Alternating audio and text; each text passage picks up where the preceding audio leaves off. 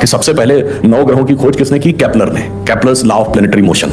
हम सब ने जिसने फिजिक्स पढ़ी होगी दसवीं ग्यारहवीं बारहवीं में कभी ना कभी Kepler's law of planetary motion पढ़े होंगे कैपलर ने सबसे पहले बताया कि नौ ग्रह होते हैं अब ये बताइए इधर जब हम पूजा करते हैं तो पंडित जी हाथ में जल्ले क्या बोलते हैं ब्रह्मा मुरारी त्रिपुरांतकारी भानु शशि भूमि सुतो बुधश और गुरुश्च शुक्र शनि राहु केतु सर्वे ग्रह शांति करो भवंतु अब ये नौ ग्रहों के नाम कैपलर बताए थे कि पंडित जी बताए हैं और हजारों साल से बता रहे हैं